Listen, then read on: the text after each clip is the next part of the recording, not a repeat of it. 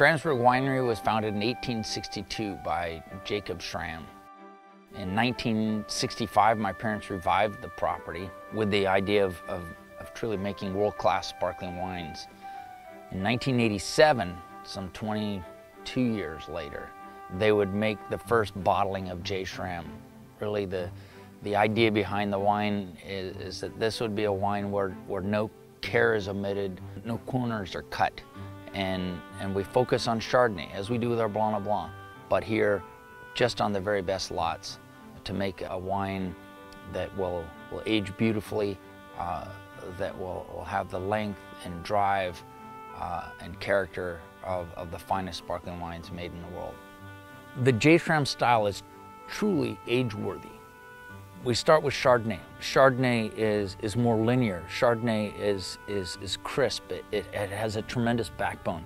Paramount is very high levels of acidity that, that comes from fruit grown in these cool coastal zones.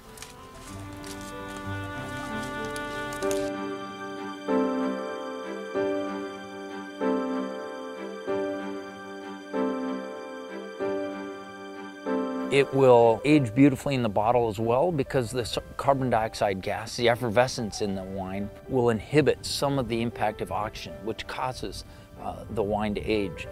So you're gonna see a very gentle process inside the bottle where flavors will caramelize, will season, and, and, and develop very gently over the course of 20, 30, perhaps even more years.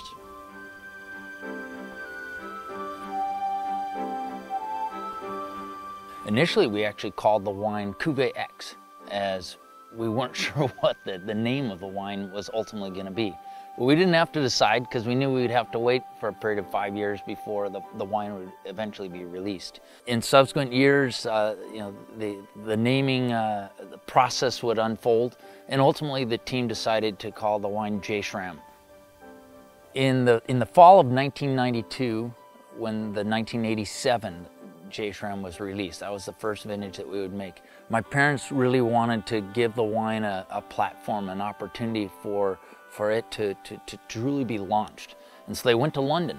They staged uh, Paris tasting, so to speak, so that blind competitive tasting where, where a, a range of French champagnes would be lined up uh, in addition to this California sparkling wine. Uh, they love to tell the story of, of how the very first vintage of J. Schram won the blind tasting in, in London. It's an honor to be able to continue on making the J. Schram. The winemaking team with my parents uh, set out to, to set a new high bar of, of, of quality for us here at Schramsberg.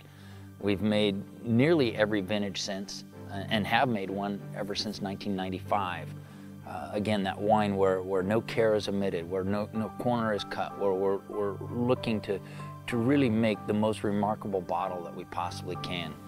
And as the years have passed, we've been able to re-release some, some bottlings uh, with even more age.